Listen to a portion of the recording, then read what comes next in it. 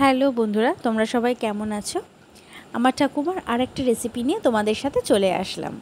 তো আশা করি সবাই খুব ভালো আছো। তো আজকে রেসিপি যেটা সে বানাবো সেটা হলো চাল কুমড়ো দিয়ে মুগ ডাল। তো মুগ ডালটাকে তার আগে ভালো করে ভেজে নিতে হবে। ভেজে নেওয়ার পর তুমি চাল কুমড়োটাকেও কালো জিরে ফোড়ন দিয়ে অবশ্যই ভেজে নেবে। ভেজে নিয়ে এবার ডালটাকে একটু জলে ভিজিয়ে রাখবে দু তিন মিনিট। তারপর ডালটাকে সেদ্ধ করতে বসিয়ে দেবো। তো এটা নিরামিষ আইটেমের মধ্যে একটা দারুণ আইটেম। এটা দিয়ে গরম ভাত অনেকটা খাওয়া হয়ে যায়। এর সাথে আর কিছুই লাগে না। তো ডালটা অনেকটা সেদ্ধ হয়ে গেলে একটু ভালো করে মেল্ট করে নেওয়ার চেষ্টা করব। হাতা বা খুন্তি যেটাই হোক না কেন সেটা দিয়ে। তো তারপরে এটাকে আবার আরেকটু জল দিয়ে আরেকটু ভালো করে সেদ্ধ করব। মানে এখনকার দিনে তো কেউ আর ডালের কাটা বা এ সমস্ত ইউজ করে না। তো যাই হোক, যে জল দিয়ে দেবো। জলটা দিয়ে একটু ভালো করে সেদ্ধ করার অবধি ওয়েট করব। তো এখানে আমি জলটা দিয়ে দিলাম। তো এরকম নিরামিষ রান্নাগুলো কিন্তু বেশ ভালো লাগে খেতে। আর নিরামিষ রান্না যদি একটু ভালো করে করা যায়, তাহলে কিন্তু সত্যি খুবই স্বাদ হয়। তো যাই হোক, আমি এবার ডালটাকে সেদ্ধ করছি। জলটা আর একটু দিয়ে দিলাম। এবার চাল কুমড়োটাকেও আমি তার সাথে সেদ্ধতে দিয়ে দেবো। কারণ এই দুটোই ভালো করে সেদ্ধ হয়ে গেলে তখন ডালটা আরও বেশি খেতে ভালো লাগবে। তো আমি এখানে ভালো করে সেদ্ধ করে নিচ্ছি। আর একটু জলও দিয়ে দেবো। জল দিয়ে পাঁচ মিনিটের জন্য ঢাকা রেখে দেবো। আর ততক্ষণে বয়েলডও হয়ে যাবে আর একটু বেশি ভালো করে। নুন, চিনি আমি এগুলো পরে দেব। কারণ আগে সেদ্ধ হবে, তারপরে আমি নুন, চিনিটা অ্যাড করব। তো তোমাদের কার কার এরকম ডাল খেতে ভালো লাগে? সবজির ডালও খুব ভালো লাগে খেতে। ডাল ব্যাপারটাই খুব মানে ভালো।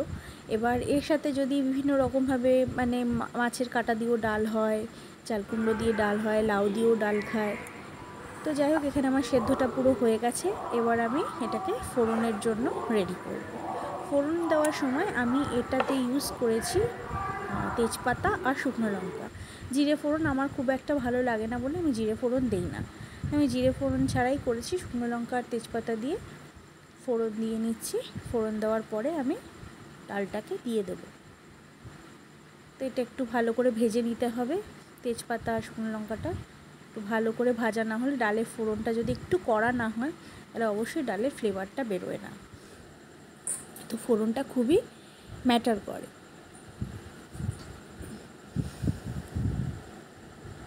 তো এখনও যারা যারা আমার চ্যানেলটাকে সাবস্ক্রাইব করনি, অবশ্যই চ্যানেলটাকে কিন্তু সাবস্ক্রাইব করে দিও। অনেক নতুন নতুন ভিডিও পেতে। আর আমার ঠাকুমার এমন অনেক রেসিপি আছে, যেগুলো আমি আস্তে আস্তে তোমাদের সাথে শেয়ার করব। ফোড়ন এখানে পুরো তেলটা গরম হয়ে গেছে, এবার আমি ডালটা আস্তে আস্তে ঢেলে দেব। এবার আমি পরিমাণ মতন হলুদ, নুন, চিনি অ্যাড করে দেবো।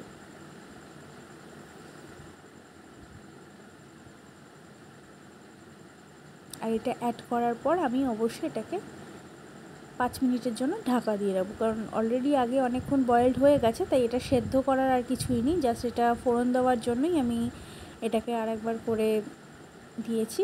এবার চিনি দিয়ে দিলাম। এবার আমি পাঁচ মিনিটের জন্য ঢাকা রেখে দেবো। আবার তৈরি হয়ে যাবে আজকে চাল কুমড়ো দিয়ে ভাজা মুগ ডাল। গন্ধরাজ লেবু দিয়ে খেতে আহা, যা লাগবে না অসাধারণ। তো কার কার এই রান্নাটা ভালো লাগল অবশ্যই জানিও। আর হ্যাঁ সব শেষে কিন্তু ঘি দিতে ভুলো না। ঘি দিলে এই রান্নাগুলোতে একটা আলাদা স্বাদ আসে। একটু বেশি করেই ঘিটা দেবে, তাহলে রান্নাটা সত্যি খেতে ভালো লাগবে। তো রেসিপিটা কেমন লাগল অবশ্যই কমেন্ট করে জানিও কিন্তু। আর তোমরা সবাই ভালো থেকো আর সুস্থ থেকো।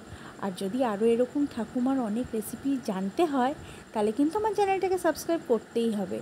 ততক্ষণের জন্য টাটা!